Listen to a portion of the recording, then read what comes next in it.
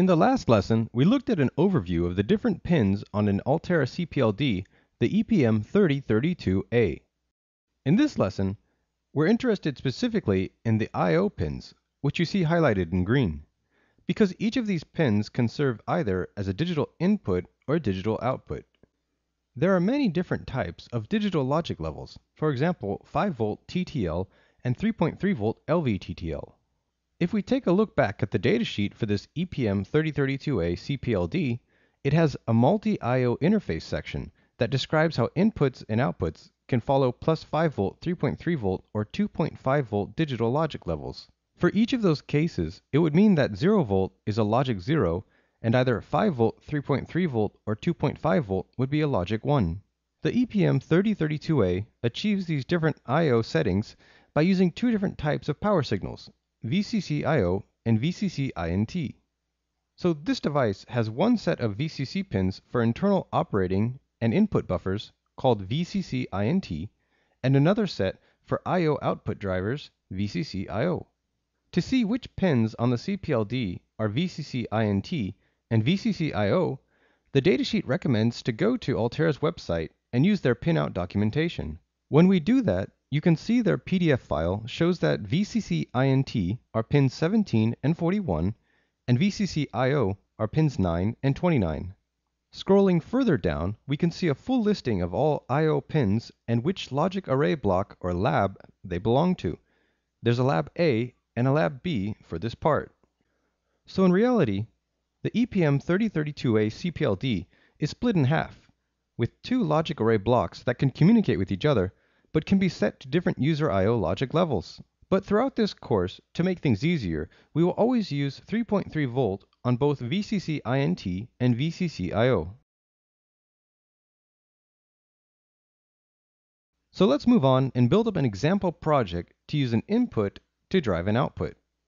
To start the theory section, first we'll create a new Altera Quartus 2 project. Choose where you want to save your project. I'll save mine in a folder on the desktop called FPGA Lesson 3. Then type in the name of the project Lesson 3, and click Next. Here we need to choose the device that we're using. Again, it's the EPM 3032 ATC44-10. Then click Continue and finish the project creation.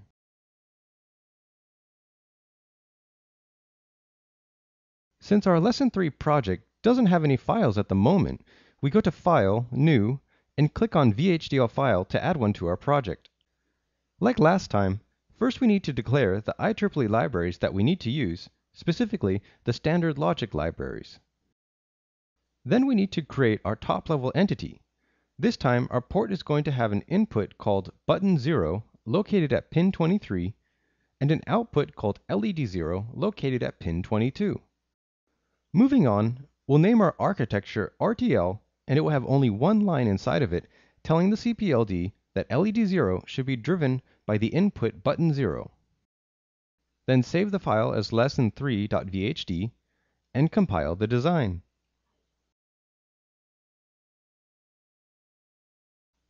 After the compile finishes, go to the Assignments Pin Planner and make sure that button 0 is assigned to pin 23 and LED 0 assigned to pin 22. Then go ahead and compile the design again. At this point, the pins for the location and fitter location should match. So now we have a project that sets pin 22 to whatever logic level is at pin 23. If a logic 1 is at pin 23, then pin 22 should output a logic 1. Next, we need to build up the hardware schematic to go with this project. First, we build a power regulator circuit it consists of a 9 volt battery going to an LM317, an input bypass capacitor of 10 microfarad, along with two resistors that set the output voltage of the LM317 to 3.3 volt, then a bypass capacitor on the output plus 3.3 volt, along with a resistor and LED for notification that power is good. The CPLD connections begin with connecting all VCC pins to plus 3.3 volt and all ground pins to GND ground. Then pin 22 connects to a resistor and LED to be turned on or off, and pin 23 connects to a push button with a pull-down resistor going to ground on one side and a connection to 3.3 volt on the other side. So when we load in the code from the Lesson 3 project, pin 23 is a logic 0 initially, so the LED connected to pin 22 should also see a logic 0, and it will be off. But when the button is pressed, 3.3 volts will be present at pin 23, so pin 22 should change to a logic 1 and output 3.3 volts to the LED, turning it on.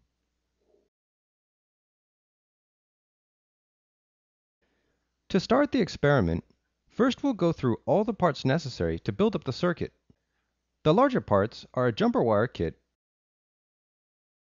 components kit, and a breadboard.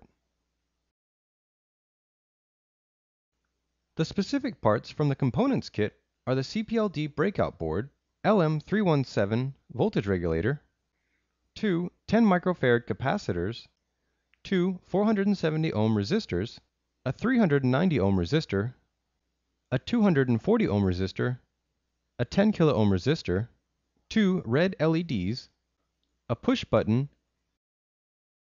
and a 9 volt battery connector.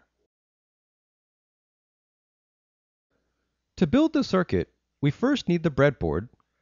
Then we'll use two orange jumper wires to connect the power and ground bus lines together. And then we'll connect the 9 volt battery connector to the breadboard. Next, we'll build the power regulation circuit.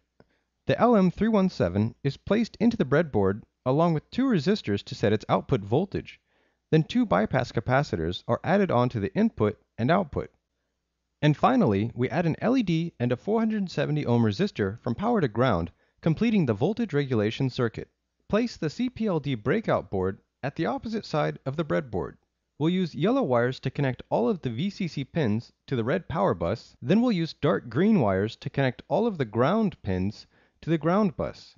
A 470 ohm resistor connects from pin 22 to an LED that connects to ground. And finally, we place the push button into the breadboard, connect one side of the button to pin 22 with a white wire, and the other side to 3.3 volt power, and then finally add a 10 kilo ohm pull down resistor which connects to ground. Now a circuit is ready.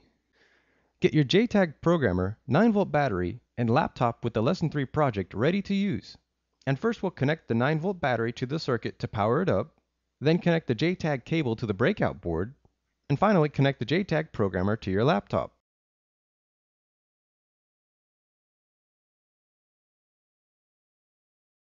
Open up the Lesson 3 project that we built earlier in Quartus 2 and double-click Program Device. Add the .pof file from the Output Files folder, then check the Program slash Configure box and start the programming process.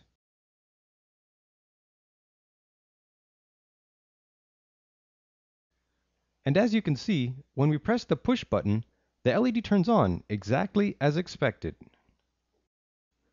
Let's make a quick modification to the code to prove we have full control of what's going on.